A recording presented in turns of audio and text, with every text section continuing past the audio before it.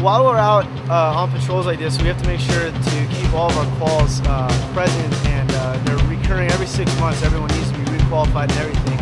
And that uh, includes things like what we were doing today, the handcuffing, um, other, all types of uh, commandant's use of force levels one through six, as well as a lot of the, uh, the techniques and the authority and jurisdiction parts of our boarding phases. So it's important for us, we do a bi-weekly training schedule out here to make sure that people are stay refreshed, uh, stay current, and keep their quals up to date and keep their uh, proficiency up to date. As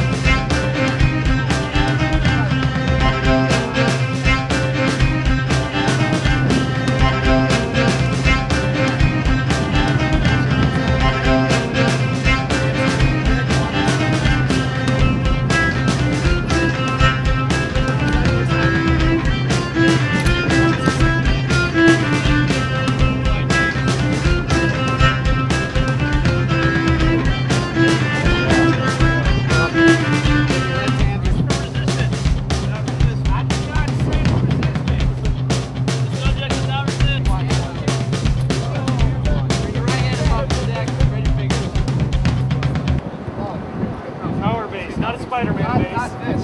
You're not a Spider-Man base. Underneath your legs.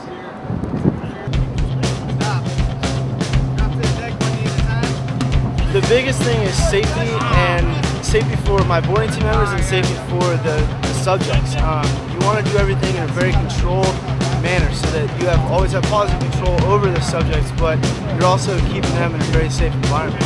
Uh, handcuffing today is actually one of the harder techniques learn because uh, there's a lot of steps that are involved with putting the whole thing together into one safe uh, and smooth package.